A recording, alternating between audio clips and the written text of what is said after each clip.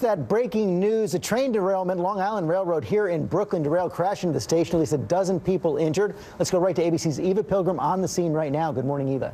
George, streets here are blocked out as emergency responders tend to the more than 70 people that the fire department is reporting are injured at this hour. All people just trying to get to work this morning.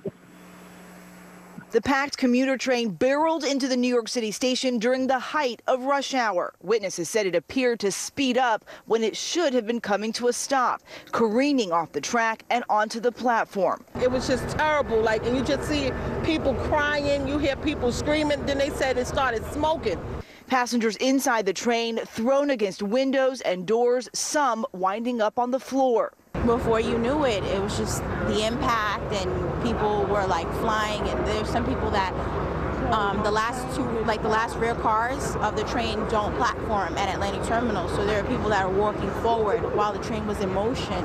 And the impact came, myself, I was sitting down and like my face went into um, the chair in front of me, my knees went in, and you know, it was just very scary.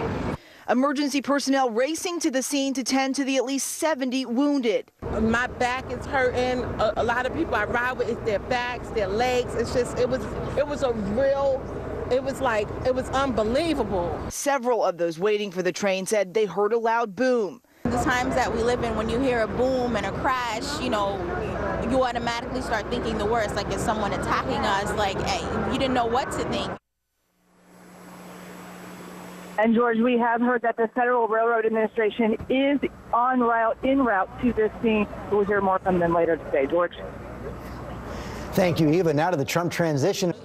In New York today, the morning commute turned into chaos. A rush hour train carrying nearly 500 people crashed into a busy Brooklyn station, throwing passengers around onto the floor and into each other. The CBC's Stephen D'Souza reports from New York. Passengers wheeled out on stretchers, others clutching ice packs or bloodied bandages to their heads.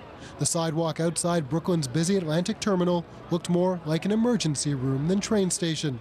There was no warning of any sort. It seemed like a regular morning coming into Atlantic Terminal until uh, it looked, it felt like the train jumped the tracks, but it, it did more than that. It just ran through the end of the line. Passenger video shows the aftermath inside the station, one of the busiest in the city. Photos show the mess inside the cars after the train failed to stop, plowing through the bumper at the end of the line. I just remember like a just book, boom, like, and just like the train just went whoo, and it just people fell out their seats, people fell in the aisles, people just was we was literally knocked out our seats. It was total chaos. There was smoke on the train, and you know we were just like sitting there in shock. The train also smashed into an employee break room on the platform. A, uh, a rail actually pierced the bottom of the train. Uh, we're actually fortunate we didn't have more severe injuries.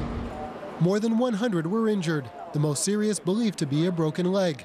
The National Transportation Safety Board is investigating, and officials say the train didn't appear to be speeding.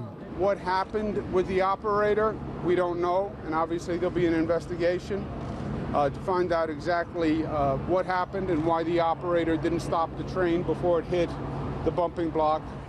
The derailment is similar to a crash in Hoboken, New Jersey in September.